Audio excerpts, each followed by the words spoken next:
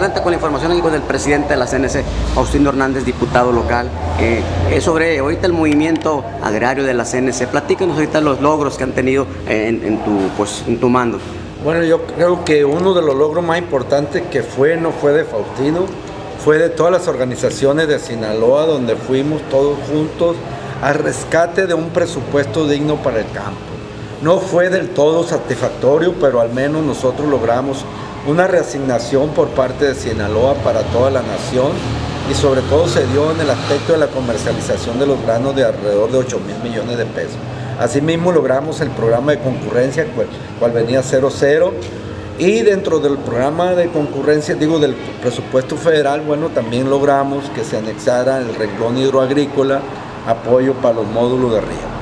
Eso fue a nivel nacional y eso nos debe de, de dar satisfacción, ya que fue, todo esto fue de la mano de nuestro amigo el gobernador, Quirino Ordaz Coppel, quien tuvo la oportunidad de, de, abrirnos la puerta en el Congreso de la Unión con el diputado de la Comisión de Presupuesto y sobre todo con el diputado de la Comisión de Agricultura.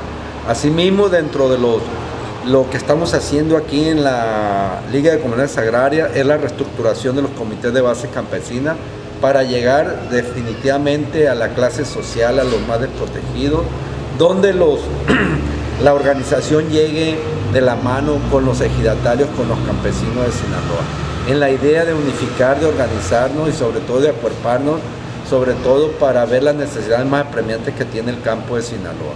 Decirles que dentro del presupuesto estatal, uno de los logros es que mínimamente se respetó el presupuesto del año pasado, para juntos trabajar y sobre todo de la mano del gobernador, del gobierno federal y de los líderes naturales, en este caso de los comités municipales campesinos en Sinaloa. Todo esto yo los invito a seguir trabajando en unidad, en equipo, para seguir fortaleciendo esta organización digna de los campesinos que es la CNC en Sinaloa.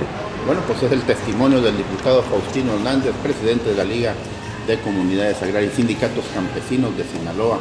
Es la lucha, pues, de los campesinos y el trabajo que se hace aquí en el Información de Notigerma en Culiacán, Sinaloa. Repartanse. no,